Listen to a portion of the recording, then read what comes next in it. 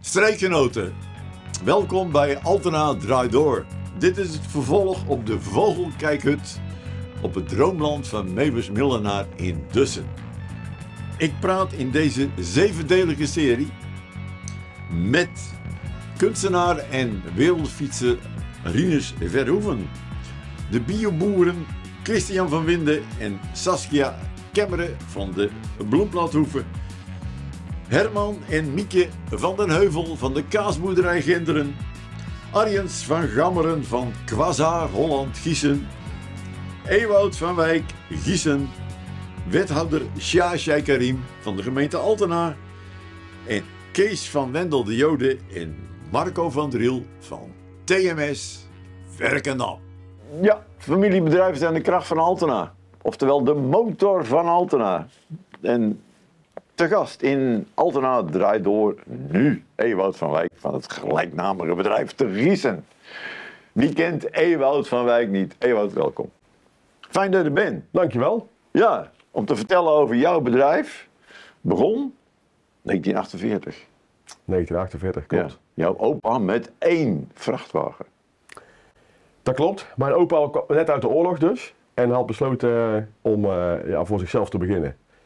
En uh, daar zien wij in 48 uh, de start van het bedrijf. En hij begon eigenlijk als fouragehandelaar en had daar een vrachtwagen voor nodig. En uh, later is dat doorgegaan. Mijn vader is echt de transporteur geworden. Dus toen zijn we voor derde gaan rijden. Maar mijn opa is begonnen als fouragehandelaar. Ja. En daar hadden we trucs voor nodig. Ja. Hoezo, hoezo is jouw vader nou echt de echte transporteur? Hij had ook boel kunnen worden, toch weer? had hij kunnen worden. Maar mijn vader, goed, ik moet het verhaal natuurlijk van, van anderen, maar die is opgegroeid tussen de wielen. En ja. Ja, ik, ik ben zelf ook opgegroeid tussen de wielen. En ja? ik, ik begrijp dat dat uh, uh, besmettelijk kan zijn. Jij kan niks anders meer. Uh, nee, ik kan niks anders meer. Ja. Ik heb altijd gezegd, als dit mislukt, kan ik nog chauffeur worden. En dat doe ik graag. Ja. Oké, okay, we willen het tijdens dit gesprek hebben over ehm, Oekraïne. Waar jullie een vestiging hebben. Ja. We gaan het hebben over de energiecrisis. Wat hebben jullie daarmee te maken? En we gaan het hebben over de verduurzaming van de transportsector. Ik heb, hoorde net van dat er een elektrische truck op de, de markt komt volgend jaar. Dus uh, oké. Okay. Um, jij bent in 2019 ben jij de grote baas geworden van? De, ja? Dat klopt. Ja. Van de Evenwijk Groep. Evenwijk, ja hè? Evenwijk Groep, dat klopt. Ja, in 2019 heeft mijn vader een stokje overgedragen. En was dat een zware bevalling of niet? Nee, dat was een uh, heel geleidelijke bevalling. Ja? Nee, dat is heel geleidelijk gegaan. We zijn in 2008 zijn wij begonnen met, uh, met de overdracht. Ja. Dus is heel geleidelijk gegaan. Je hebt natuurlijk de overdracht van verantwoording, wat in 2019 begon. Maar je hebt ook de overdracht van, uh, van eigendom, uh, dus de aandelen. Dat, dat alles begon in 2008. Dus ik ben heel geleidelijk aan betrokken bij het bedrijf. Uh, en dat heeft mijn vader op verschillende manieren gedaan. want ja, ik begin met als puber, standje opgewonden. En dat ging niet altijd goed natuurlijk tussen vader en zoon. Nee, nee. Maar pa heeft dat verstandig aangepakt, adviseur ertussen. En die heeft ons gebracht naar dat, niet naar het eindstation, maar naar het volgende Ja. 2019. Maar jij bent, uh, jij bent ook een opleiding, hè? Erasmus University. Dat klopt. Dus jij bent echt uh, altijd ons tegen. Ja, zo, zo voelde het toen ook. Ja, hè? Ja, want ik was uh, als enige vanuit de familie om mij heen. ik, de wet, ik kreeg wel eens gevoel dat mensen dachten van, hij heeft hoge bol gekregen. Ja. ja. En het is dat mijn oom en een vriend van mijn vader, die hebben mij gemotiveerd te zeggen van ja, als je de kans hebt, dan moet je naar de universiteit gaan. De universiteit, zo. Dat is een eind weg. Dat is een eind weg en uh, Rotterdam. En uh, nou ja, ik heb nog steeds een zachte G. Maar ik kan je zeggen, toen ik 18 was en naar Rotterdam ging, dat ik uh, zwaar Brabants dialect sprak. En toen? En, ja, en toen. Ja, ik ben eraan begonnen. Ben je een beetje gepest? Ja, ik, nee, gelukkig niet. Nee, ik oh, heb al, niet? Ik heb, al, ik, ik, ik heb een zachte G, maar ik heb ook een mondje bij. Dus dat, dat helpt ook wel. Oh, dat scheelt een stukje. Ja, ja, ja. ja. ja. Um, tegelijkertijd was ik chauffeur. Ik had mijn rijbewijzen gehaald. Dus ik heb gestudeerd. Ik heb toen niet op kamers, uh, ervoor gekozen niet op kamers te gaan. En ik heb ook heel veel op de vrachtwagen gezeten. In de vrije tijd die je over had. Andere studenten gingen andere dingen doen en ik ging rijden. Dus die combinatie van uh, daar leren en ook mensen leren kennen en de praktijkervaring opdoen, ja, dat is uh, heel mooi gebleken. Wat voor soort, uh, wat voor een type, ja, CEO noemen ze tegenwoordig, maar voor een, de stijl van de leider. Wat is nou de stijl van de leider? Ewout van Wijk. Kun je jezelf omschrijven? Daar zijn heel veel theorieën voor natuurlijk. Alleen, ik zei net al, ik rij zelf graag. Dus uh, je zou kunnen zeggen leading by example. Maar uh, meer praktisch is dat dat ik uh, tussen de mensen probeer te staan. is niet altijd makkelijk, want het bedrijf groeit. Dus mensen kijken naar het verleden en dan verwachten ze iets van je. Maar ik probeer tussen de mensen te staan, de mensen te begrijpen. En vanuit daar zeg maar eh, mijn bedrijf eh, te leiden. Dus goed te horen wat er gebeurt op de werkvloer. Uiteraard ook bij de klanten. En dat heel goed combineren. Ja. Gebruik je ook zoveel bijbelteksten als je vader? Nee. Mijn vader gebruikt eh, inderdaad bijbelteksten. Die, mijn opa deed dat ook. Eh, ik ken er ook een, uiteraard een heel aantal. Ik ben ermee opgevoed. Alleen dan zie je ook in de generaties dat de tijd toch meegaat. Dus onze christelijke normen en waarden zijn we zeker niet verloren. Alleen ik sta niet elke dag uh, uh, wij. Met een bijbeltekst op. Met een bijbeltekst op. wel op, maar niet dat ik op bedrijf op de preekstoel sta elke dag. Nee, nee. nee we hebben ook een bedrijf te runnen. We leven ook in de wereld. Maar uh, dat betekent niet dat het uit de weg gaan. Nee. nee. Nee. nee. Um, hoe groot is het bedrijf eigenlijk nu? Want ik, af en toe dan lees ik wel eens iets op LinkedIn over een op, overname door uh, de, de ja. verwijkgroepen. Hoe groot is je bedrijf nu in uh, Nederland en Europa? Op dit moment, even korte samenvatting. In Nederland hebben we twee vestigingen. Giesje, hier in Altena en in, uh, in Almelo. Dan zitten we in Polen, in Oost-Polen, in Jasjov. We zitten in Oekraïne, Lviv. En in Roemenië op twee plaatsen, in Cluj en in Boekarest. En als je dan cijfers wil weten, dan uh, qua trucks. We hebben 350 vrachtwagens ongeveer. Uh, totaal? Totaal. In het bedrijf? Ja, alles bij elkaar opgeteld. Ja. ja. En uh, rondom 800 mensen in dienst. Ja. Nou, zware taak, of niet? Zo voelt het niet. Nee? Er zijn natuurlijk momenten dat het hard binnenkomt. We gaan straks hè, over de oorlog in Oekraïne hebben, toen die begon. we hebben dit jaar, om een voorbeeld te noemen, stond er een vrachtwagenbrand op de A15 van ons. Dan krijg je de beelden doorgestuurd. Nou, dat zijn ik, ik noem maar een paar voorbeeldjes, maar dat zijn momenten dat je het echt voelt. Ja. Maar uh, uh, dagdagelijks dan, uh, ik zeg niet lekker makkelijk dreeffiets, maar je bent erin gegroeid. Het is niet iets waar je in één keer voorgeschoten nee. krijgt. Dus, maar las ik pas ook dat je een vrouwelijke mededirecteur hebt benoemd of zo. Ja, dat klopt. Klopt dat? We hebben in 2014 in Twente Himex Logistics overgenomen. En daar werkte Milou Meijer. En toen was ik zelf ook nog heel erg dicht bij de operatie. En ik heb vanaf die tijd heel goed samengewerkt met Milou. En zij is zou ik zeggen, samen met mij meegegroeid in het bedrijf. En we hebben meerdere bedrijven overgenomen daarna in Twente. Dat hebben we nu per begin dit jaar samen in één nieuw gebouw in, uh, in Almelo. En zij is daar directeur van geworden. Ja. Goh. Ja, dat is, dat is, dat is mooi. Ja. En, in, en in Gießen, hoe is het met de vrouwen in Gießen? Hoeveel vrouwen heb je in, in de top zitten? In de top in Gießen zitten geen vrouwen. Oh. Ja, dat is een, uh, in, in Roemenië, in Oekraïne, in Polen en in Almelo. En jij vraagt of Gießen niet. Nee. nee? We hebben recent een uh, vacature gehad, twee in het management. En uh, van uh, 40, dus we hebben het over managing director, van de 40 kandidaten die kwamen, was er één vrouw. dus ik kom van twee kanten af. Ja. ja. Hoe komt het dat vrouwen niet. niet, niet ik, jij bent volgens mij een aangename manier om mee te werken, toch? Nou, niet, niet alleen, al onze collega's. Nee, hoe komt dat? Dat vind, ja. ik, dat vind ik een lastige vraag. Ik, ik heb daar niet sluitend antwoord op. Nee. Alleen, het kom, wat ik net zei, als je 40 kandidaten krijgt en er is één vrouw bij, dan komt het wel van twee kanten. Dus ook al wil je als bedrijf graag, dan uh, ja, moet je wel het aanbod hebben. Maar ik denk ook niet dat logistiek een typische sector is nee. waar een vrouw normaal gesproken voor zou vrouwen zitten, vrouwen zitten meer in de Ja. zorg, weet je wel, in de, in de psychologie en zo, weet je wel, coaches en zo. Ja, dat zijn dan toch uh, ik- de rollen van vroeger uit, zeg maar even. Maar, eh, toch wel. eh, ja. Terwijl er genoeg vrouwen op de universiteit zitten, toch? Nou, ik heb twee masters gedaan. Supply chain management en human resource management. Supply chain management, daar was zeg maar 80-20 en dan 80% man en 20% vrouw. En human resource ma- management was precies andersom. Ja. Toen was ik de minderheid. Ja. Dus dat was heel leuk, dat die combinatie die ik toen, ja, die werd heel zichtbaar. Dus ehm, eh, zachte beroepen, als ik het zo mag noemen, eh, die enorm belangrijk zijn, dat, eh, daar zijn vaak toch meer vrouwen in de studie richting dan beroepen zoals logistiek. Ja. Hoe komt het? Ik weet het niet. Wij, wij staan open voor, voor beide. Ook chauffeurs, zeg maar, vrouwelijke chauffeurs aan te nemen. Hoeveel heb je er nu in Gießen? Hoe, in Gießen ehm, vier vrouwelijke chauffeurs. Ja. Dat is weinig. ja. Melden In. Roemenië zijn het er meer, maar dan vaak als een koppel, maar eh, dat is weinig. Ja. Nou, Ja. was, eh, een tijdje terug las ik weer dat er schreeuwend tekort is aan chauffeurs. Ik bedoel, eh, ik, ik, ik fiets even door op dat gebied. Heb je veel vacatures? Ja, voor chauffeurs nog steeds. Hoeveel? Nou, we zouden nu in Nederland, er voorheen over, over Gießen, zouden we zo eh 10, 15 chauffeurs kunnen gebruiken. Ja. En hoe komt dat? Kort op in te gaan. Mensen willen vier dagen gaan werken. Je hebt natuurlijk eh, ziekteverzuim is gestegen door corona. Dat is nog steeds aan de hand. Maar als iemand vier dagen werkt en die wil ook graag een vrachtwagen hebben waar hij altijd op rijdt, zijn eigen wagen zeggen we dan. eh, die vijfde dag moet die auto ook rijden. Dus je moet het allemaal op gaan vullen. En dan is het zo, de beroepsgroep die vergrijst. Dus onze gemiddelde leeftijd van de chauffeurs die stijgt. En eh, de aanwas die is, is minder. Dus dat Ja. is niet een probleempje van nu. Dat is een probleem waar we de komende jaren, misschien wel decennia mee te er, maken is, er hebben. is een oplossing voor, dat weet je. Nou, Arbeidsmigranten dat klopt. noemen ze dat. Ja. En, en hoe, hoe, hoe doen jullie dat? Hebben jullie ook eh, de portocabines neergezet voor, eh, voor chauffeurs uit, eh, ik noem maar wat, uit Bulgarije of zo? Ik ga eerst in op je eerste vraag. Er zijn arbeidsmigranten, dat klopt. Ja. Alleen er zijn- is ook wetgeving. Dus wij, wij zitten al heel lang in Roemenië, dat, dat weet je ook, van het begin jaren 90. Ja. Alleen we houden strikt te scheiden dat Roemeense chauffeurs rijden op Roemeense auto's, Oekraïnse op Oekraïnse, Poolse op Poolse en Nederlandse chauffeurs rijden op Nederlandse auto's. En wanneer ben je een Nederlander? Als je een Nederlands paspoort hebt. Dus als een Pool een Nederlands paspoort heeft, dan is die ook Nederlander. Voor ons als werknemer.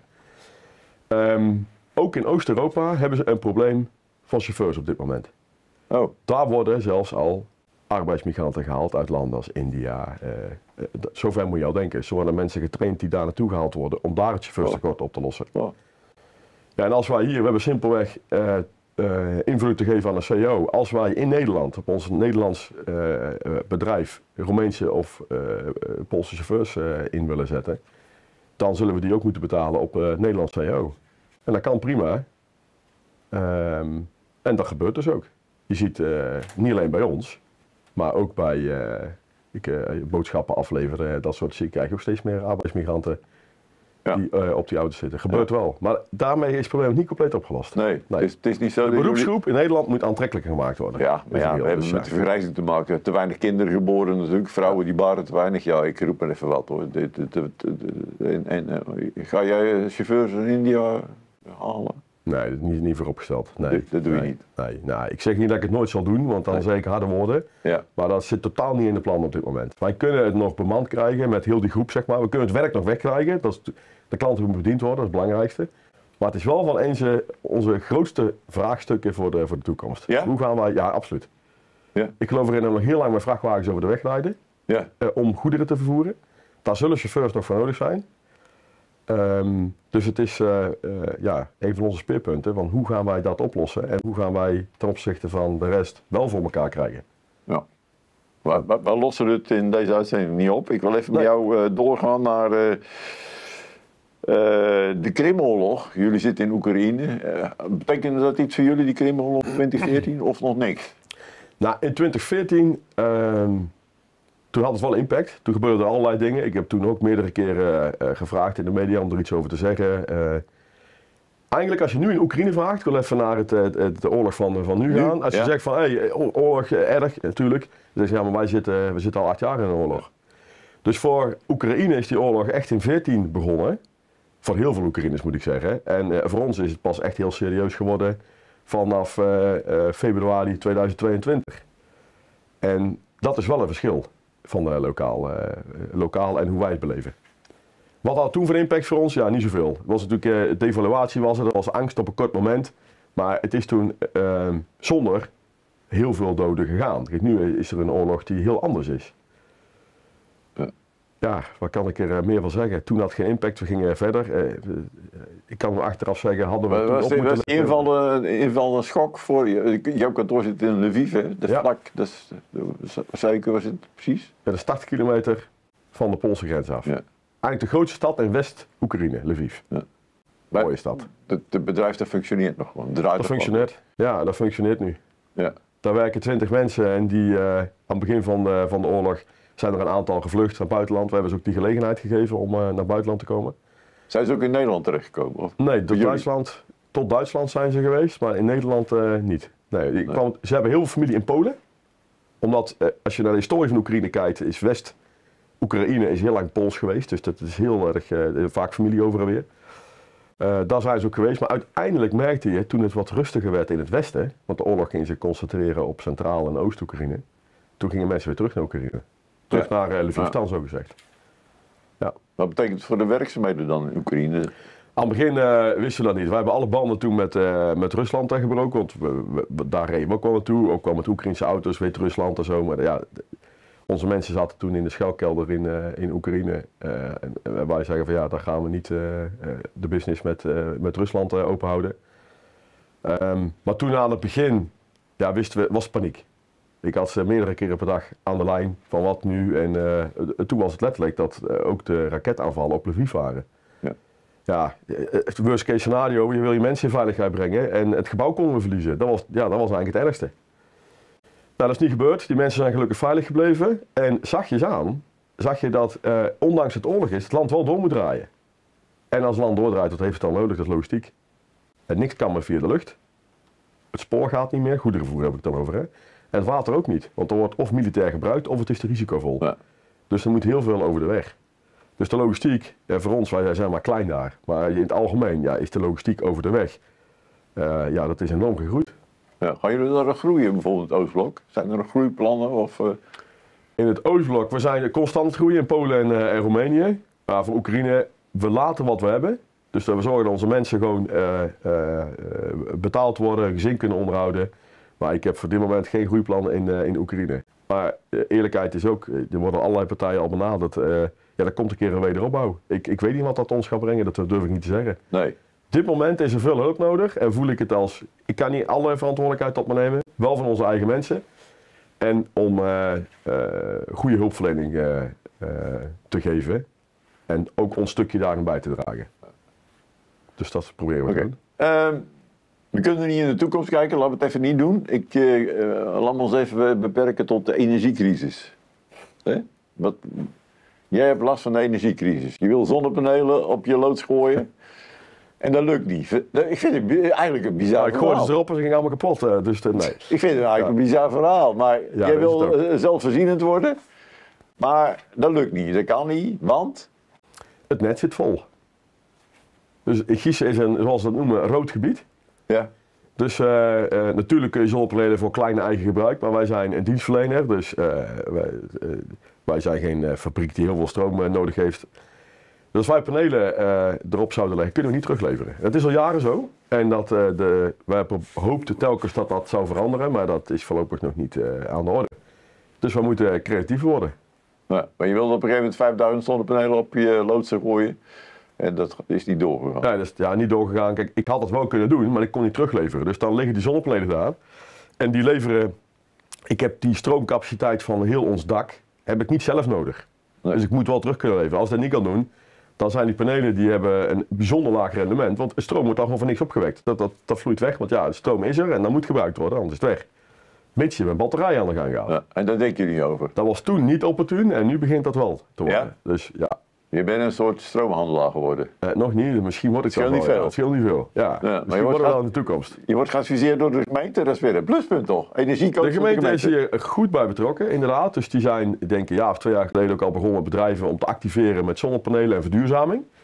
En eh, die hebben daar uiteraard ook bedrijven voor in de hand genomen. En daar raakten wij met contact. En een van die bedrijven is nu onze, onze adviseur daarin, ja. Ja.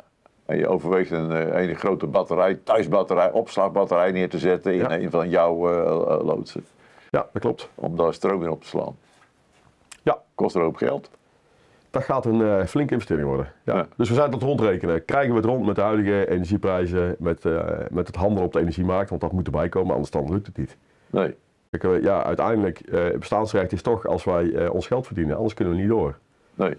Dus daar moet ik wel zeker. eh, maar goed, ik vind het wel. eh, het is ook een interessant onderwerp. Dus als ik er nu mee bezig ben, dan. eh jij vroeg me aan het begin van zo, zwaar die grote. Nou, er zijn ook heel veel leuke dingen. Het is toch prachtig dat je hier kan werken. Ik vind het oprecht leuk. Ja, want je, je had het over rentmeesterschap. Nou, Ja. of dat is bijbels dan, moet ik dat zeggen? Maar Kan daar kort op wat, ingaan? jij, Mag dat? wat, wat, ja, wat vind jij? Hoe zie je dat rentmeesterschap dan? Kijk, eh, ja, ik, eh, ik ben gelovig en eh, er komen heel veel dingen uit de Bijbel. Maar ik zeg ook wel eens gewoon, je kunt de Bijbel ook gewoon lezen los van het geloof als een zakelijk boek.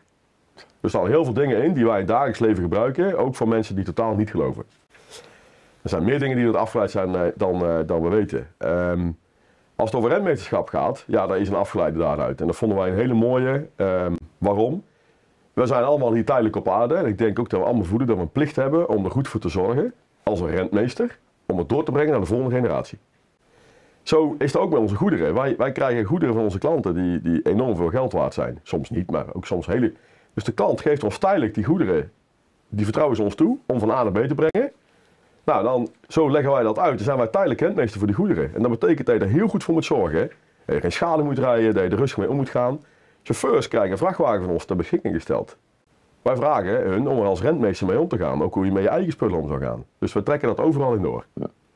Ja, En dan wordt het een ander begrip. Dan is het niet alleen op geloof geënt, maar dan wordt het praktisch gemaakt. ja, ik noem het eigenlijk dan maatschappelijk verantwoord ondernemen. En Daar valt hij VO. onder, zeker. Ja, Hoe noem je dat ook weer? People, people Planet, eh, Profit. ja inderdaad, dat Dus, eh, cirkeltje. eh, dat, dat, ja, oké. dus niet profit voorop, maar People, Planet, Profit. Exact.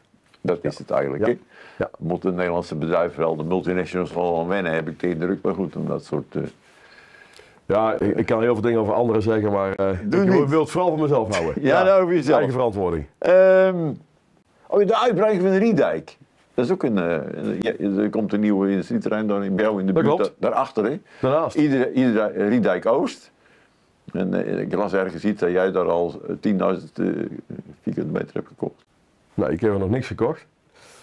Ehm, maar we zijn wel eens bezig met, met een groot stuk. Dus eh, eigenlijk, ik, ik denk dat wij zelfs de, de, nou, de aanmoediger zijn geweest, zo durf ik het wel te zeggen. Met de gemeente Woudrichem destijds. Even terug, het stuk wat we nu hebben, daar, eh, wij kunnen niks meer op dit moment. We zitten volgebouwd, dus als wij nu een volgende stap zouden moeten maken, dan eh, moeten we grond bijkopen.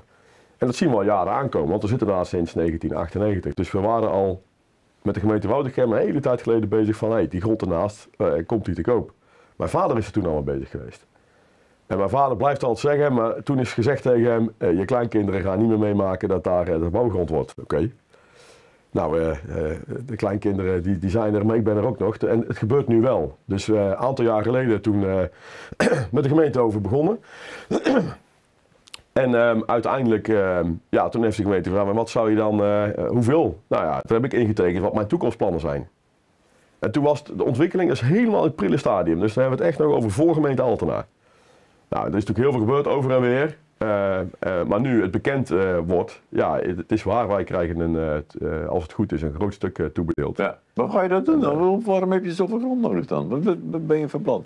Ik eh, wil daar graag een, eh een crossdock centrum op bouwen. Dus wij gaan steeds meer eh, kleine pelletjes over een crossdock vloer halen. Dat doen we nu al, maar we lopen helemaal vast.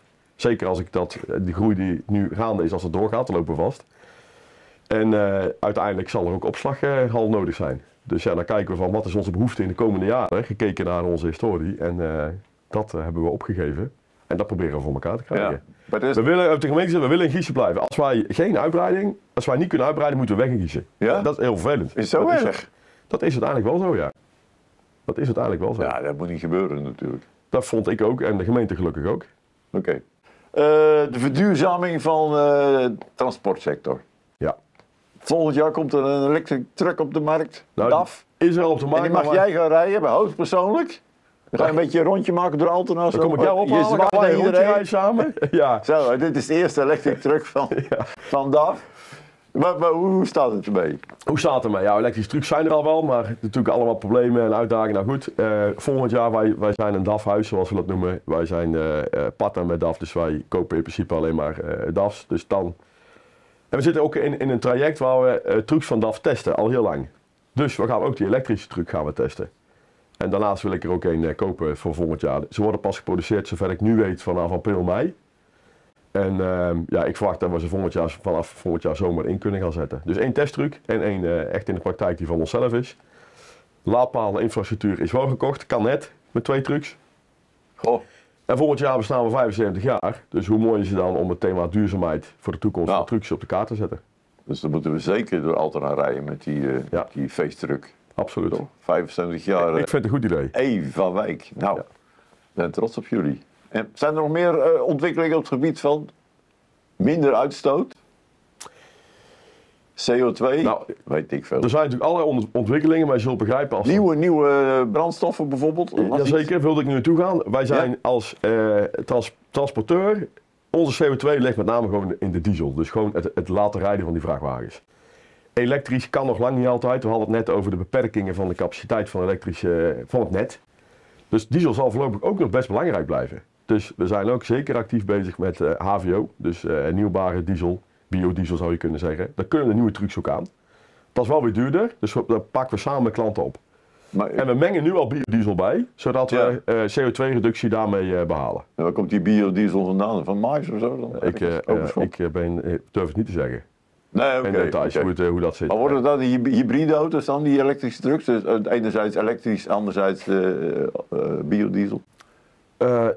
Dat weet ik niet. Lange afstand blijft voorlopig diesel. Distributie, zeg maar, dus echt korte afstanden, dat zal elektrisch worden. En ik denk op lange termijn hebben we eentje die genoemd is waterstof. Oh ja, die- eh, dus elektrisch is dan net iets verder, maar waterstof is ook hard in ontwikkeling. Dus wat wij proberen te doen is het volgen van de technologische ontwikkelingen, samen met DAF, de- met DAF testen. En dan uiteindelijk de beste propositie eh, voor Ja. ons eh, kiezen. En de scheepvaart zeggen, eh, roepen ze allemaal, waterstof is de toekomst. En, eh, ze zijn allemaal aan het bouwen met waterstofschepen en zo. Dan krijgen we ook waterstof Vrachtwagens, vrachtwagen. die gaan we krijgen. Zeker. Heb jij daar verstand van of laat je dat dan eh, deskundig over? Ik laat het ook aan deskundigen over, maar ik heb wel een bepaalde basis dat ik ervan weet, ja. Ja? ja En hoe ver is het nou met die waterstof dan? Nee, maar jij zei net iets over elektrisch, maar... Elektrisch is verder. Is waterstof, eh, de infrastructuur van tanken is natuurlijk nog een uitdaging. De prijs van waterstof, oh, elektrisch ook, maar waterstof is ook een- enorm duur. Dus de energiedichtheid is niet zo dik. Ja, het is een heel technisch verhaal. Maar Ja. Ik denk van technisch even afblijft. Maar het is nog niet ver genoeg om Nee. op dit moment goed eh, te, eh, te gebruiken in je dagdagelijkse werkzaamheden als transporteur zoals wij zijn. Nee, er wordt al gewerkt. Maar ik bedoel, dan krijg je een elektrische truck, maar eh, betekent dat iets voor de kosten van, jou, van jouw bedrijf of zo? Worden de kosten lager of worden de kosten juist hoger? Nou, op dit moment, als er nieuwe technologische ontwikkeling er is, dan zijn de kosten altijd hoger. En naarmate dat geadopteerd wordt in het algemeen, dan nemen de kosten af. En daar zullen wij een balans in moeten vinden. Ja, Ja, dat is, het klinkt even, ja, zo is het uiteindelijk wel. Ja. Nu is het zeker niet goedkoper. Alles wat we nu investeren op duurzaam, dat is echt voor de toekomst. Want dan krijg je het op dit moment gewoon niet rondgerekend. nee. Nee, echt niet. Met de huidige prijzen in de transportsector krijgen wij eh, het niet rondgerekend. Maar dat betekent dat de leveranciers ook een bijdrage moeten leveren, toch? In, Ja, iedereen, subsidie, overheid. eh, als we, met met z'n allen investeren we in een duurzame toekomst. Dus dat, eh, ja. Ja. Ik had gisteren hier een blije eh, bioboer. Een bloedbad toe van Almkerk. Die zei, wat er ook gebeurt, ik ben een blije boer en ik ga gewoon door. En ik Ben je- gepassioneerde, blije transportondernemer. Ben jij de blije CEO van Even, Even Wijkgroep? Ja, daar ben ik. Daar ben ik. Ja, Ja. zie je wel uit. Ja, nou, dankjewel. Ja. Ik, eh, ik zei het gepassioneerd, maar daar ben ik. Eh, ik je mijn bent ook een fan van. Altena, heb je ooit eens een keer tegen mij gezegd. Ja, dat klopt, ja. Leg er nou eens even uit. Ja, Waarom ben je nou, nou overval fan? je met die vraag. Een fan van Altena. Ik vind het. eh, ik zit even te kijken welke context het toen was. Maar had wij hebben toen. hadden werkers hier. Nou, ik vind arbeidsethos, ja, zeker. Ja. Maar ook, ehm, wij hebben toen een tijd gehad, Altena, er zitten heel veel dingen, bedrijven. Je, je weet zelf hoe mooie familiebedrijven hier zitten, dat heel veel mensen dat niet weten. Dus het wordt een beetje, en het is een grote provincie, of provincie, een grote gemeente geworden. En toen kwamen we met talent wat hier zit, dat allemaal weggaat. Volgens mij hadden wij het daar toen in die context eh, over. Daarom zijn er allerlei initiatieven opgestart Ja. om talent wat hier opgroeit in Altena, lokaal in Altena te houden. En die hebben we hard nodig. En daar hebben we een mooi programma voor, dat is Altena Talent eh, van de Stichting Kennissport eh, Altena. En dan Daar krijg, je ook, mee. daar krijg je ook volk van. Daar krijgen we ook volgens van, ja. Dus een heel mooi programma. Mooi, maar, mooi. maar vooral de arbeidsethos. Hè. Het zijn hier harde werkers. Ja. Van vroeg tot laat. Ze staan met de kippen op en ze gaan met, eh, weet ik veel wat, niet met kippen naar bed natuurlijk, maar goed. Wat Met de vrouw naar bed als het goed is. Dat is goed is wel. Ja. Arbeidsethos, harde werkers. Inventief, creatief.